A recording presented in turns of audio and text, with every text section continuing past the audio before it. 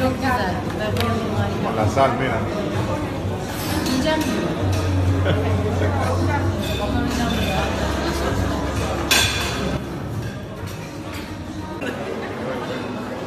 Bueno, Nos vemos en Caracas. Pronto.